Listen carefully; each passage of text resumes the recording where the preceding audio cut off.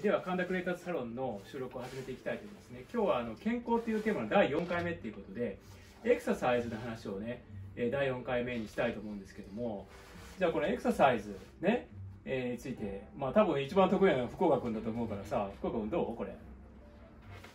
やっぱ障害アスリートで行きましょうよ 障害アスリートをさ宣言してる福岡君としたらさどういうことやったらいいの、もうだから動けばいいんですよ、うん。あのやっぱ僕思いますけど、うん。思いましたけど自分もその普通の雇われで働いてた時って、うみんなもうねずっと朝から晩までだから、動かなすぎだからもうと動かなきゃね、う んそうね。動くってこと動ねく動くうん。動く歩く走る何でもいい、なるほど。野村君はどうなの？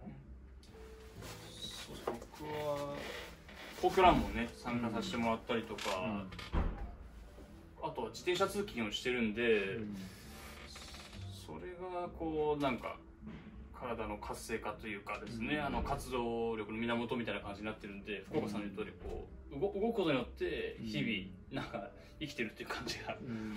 してますね、うん。はい。いやこれねあの動画をねご覧になってる皆さんにねちょっと最初に解説したいと思うんですけどまあ多分この3人の中では、まあ、福岡君が一番こうまあもうほとんどセミプロのアスリートなんですよね。で僕も結構福岡君にいろいろ教えてもらったりしてあの実はですね皇居ランをしばらく前から皇居の周りが一周5キロなんですけどたまにこう走るんですよね。でそれを僕福岡君に教えてもらって、まあ、コロナになってねあのこのじ事務所の近くに実はあの、えーそのプールがあってねよくそこで僕泳ぎ泳いでたんですけどうん。コロナで泳げなくなってじゃあどうしたらいいかっていうことでうん。あの福岡君に教えてもらって皇居ランをするようになって、はいはい。で野村君も一緒に一回参加したんですけど、うん。はい。あの多分このねどうやったらそのね、まあ、健康な体に近づけるようなエクササイズできるかって話をね、まあ、ちょっと福岡君にちょっと僕聞いた方がいいかなと思ってるんだけどあの、まあ、福岡君は体脂肪率がもうほとんど10%ぐらいっていうことであのすごい鍛えてるわけなんですけどでマラソンを何回走ったんだっけ？福岡君マラソンフルマラソンを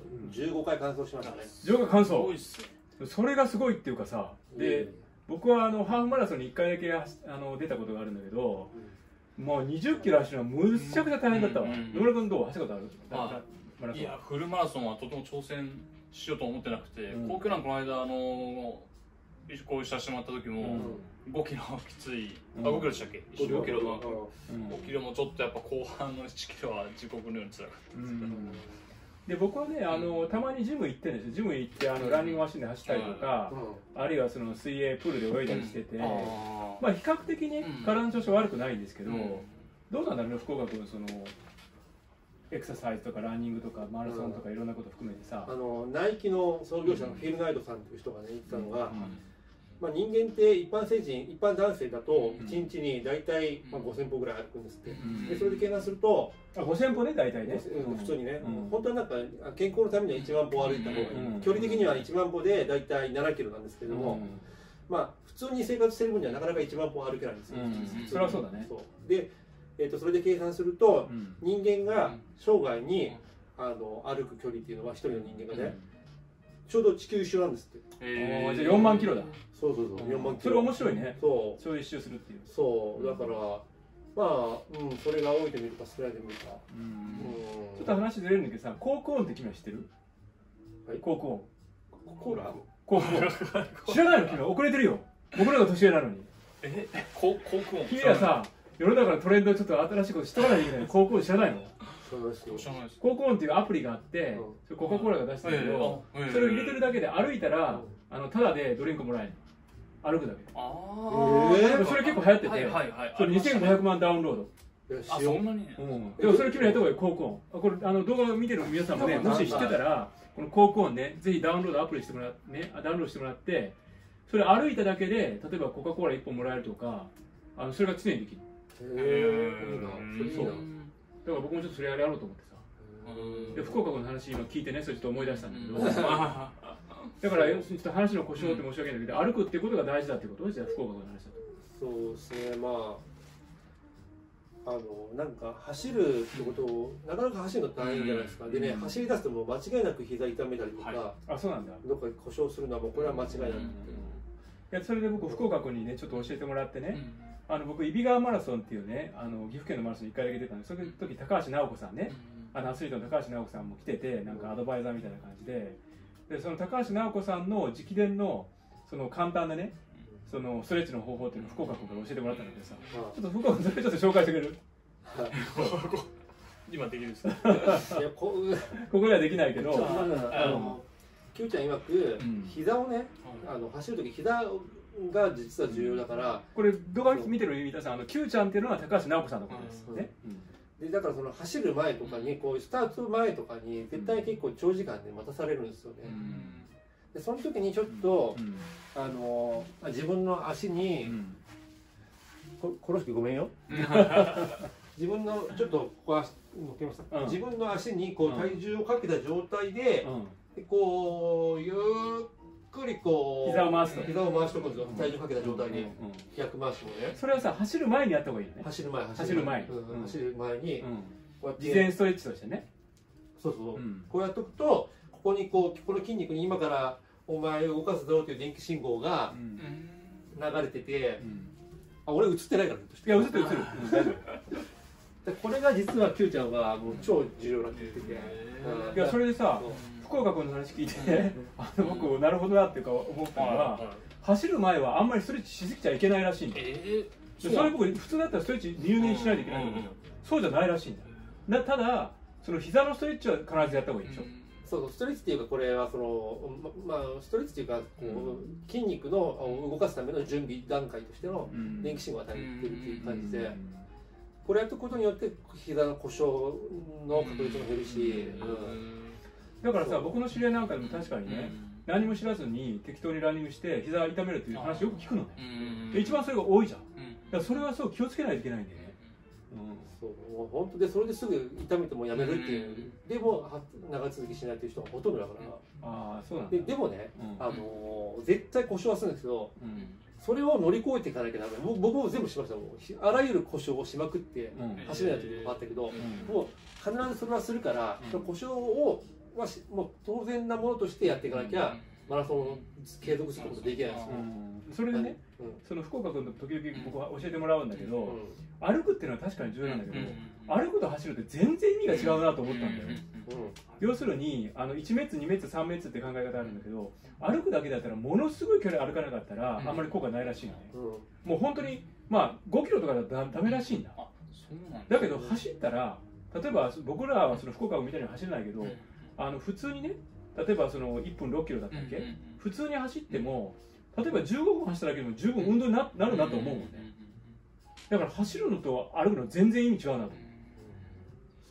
まあ、時速の7キロないし8キロぐらいが歩くと走るの境界線なんですけど、まあ、まあ普通一般的に時速8キロ、8キロね。うん8キロ。以上だったら走ってる。そうそうそう、そうそそれより遅かったらうん。歩いてるってことなんですで走ると歩くの違いは何かというとあの歩くのは必ず地面にどっちかの足がついてる。でも走るっていうのは一瞬だけれども両足が浮く時がある。なるほど。うんそう。だからね。そう。で走ってこうはあの着地すると、うん膝には自分の体重の3倍の負担がかかるんですよ。うん。だから膝痛めるんだよみんな。そう。だから100キロの人が走るのと、うん。60キロの人が走るのは、うん。もう100キロの人だったら300キロ負担かかってあー。60キロと180キロ、うん。100 100キロ以上の差がうん。膝にかかる負担があるんですね。うだからそう結構、走って太ってる人はね走るのは、いきなり走るのは絶対危ない、でこれこういうの話してると野村君はさ僕らの話を聞いてあいやいやいやいやいや。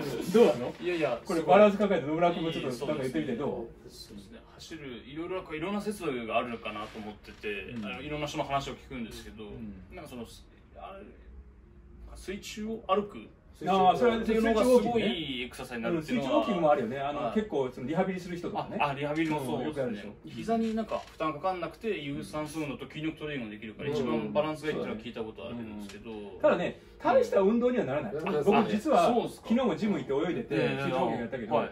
やっぱりね走るのが一番い。いわ。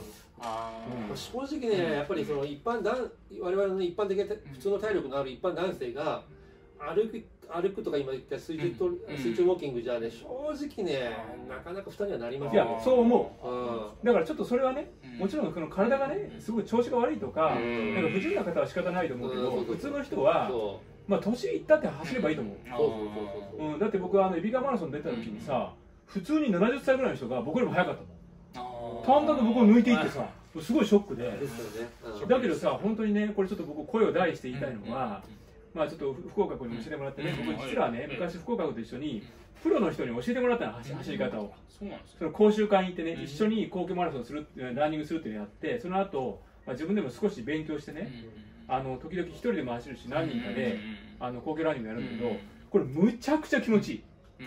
皇居ランニング。本当むちゃくちゃ気持ちいい。コープランね面白かったですね。で皇居の周りはあのランニングステーションがいっぱいあって、で結構そのねあの福岡君のおすすめのね、うん。ランニングステーションがすごく良くて、うんもうそこ行ったら俺心落ち着くもん、本当本当にマジで。ある意味や癒しの。癒しの空間、うん。心落ち着く。皇居ランがある、はい。あ失礼。ランニングステーションがあるはい。都市って東京だけです、あ東京だけなんですか？あ世界で見て。あ世界でえ何？その大阪とかないの？あいやあの違う違う違う。あの日本あのか世界の国で大阪はもちろんありますよ。日本にはいくつかあるんですけども、うはい、東京だけというか日本だけ。あ日本だけ？あそう。ラランニングステーションというものがあるのね本当、へそう基本的には。やっぱ日本ってすごいね。そうだからだから走りなさいよって感じなんですよ。あ そういう施設を活用しろっていうところですよねそう海外にはないですよランニングステーションっていうものまあ最近ちょっと出てきたかもしれないけれどもうちょっとすぐんうん。基本的にはそうなんですよ。そういう感じなんね。そう。うん。いや本当さそれを活用しなきゃならない、うん。でこれねあのララジオっていうかこの動画見てる皆さんねもし東京のお住まいの方いたらね、うん。これぜひ走一緒に走りましょう、これねあ走りましょう。それでねあの皇居の周りを走るとねむちゃくちゃ気持ちいい。むちゃくちゃ。もうこれ普通の半端な気持ち良さじゃない。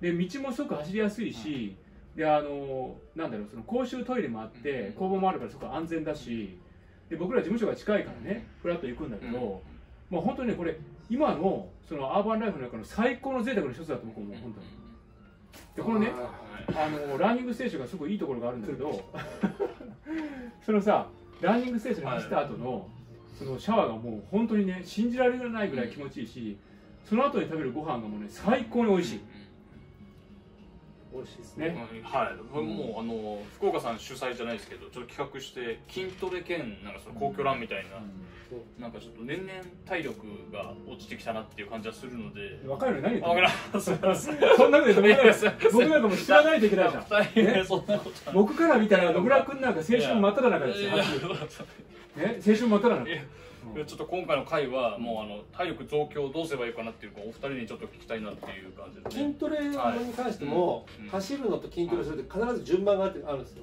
必ず筋トレを先にしてはい。あの走るの後。あこの逆はダメなんですよ。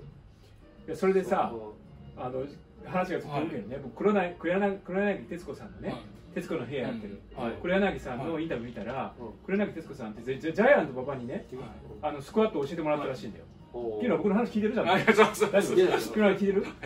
でスクワットを教えてもらって今87歳なのに毎日50回スクワットやるらしい。えー、そんな。でそれが健康の秘訣だって言って。あすごいなと思ってスクワットはいいっすよね。だって人間の筋肉のかなりの部分が下半身に集まってるから、はいはだから下半身を鍛えるっていうのは本当に非常に合理的な。んいあですそうなんですね。そうそうそう。膝も痛めないですよねスクワットだったら。スクワットだったら、うん。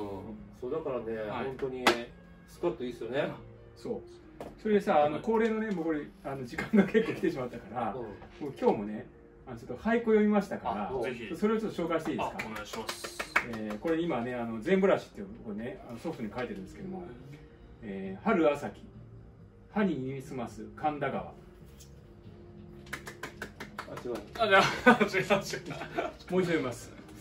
春朝木歯に耳すます神田川でこれ神田クリエイターズラボってかんということで神田っていう名前入れたんですけども春朝木っていうのはうん。2月の季語なんですよ。これ正式な季語です。あなるほで歯に耳をすますって何かって言ったら神田川のそばを流れてるその葉っぱがね少しずつ芽吹いてき始めてそれに耳を澄ましてると擬人化してるんです。そういうのが句です。素晴らしい。すごい。ということでね、はい。もう時間が来てしまいましたから、はい。最後にじゃあね野村君の方からちょっとアナウンスをして終わりにしたいと思います、えー皆さん、えー、とぜひ神田クリエイターズラボの、えー YouTube のチャンネル登録をお願いいたします。お願いします。お願いします。いいねいいねクリックもぜひぜひよろしくお願いします。はい、ということでこのね今日の資料はこれくらいにしたいと思います。ありがとうございました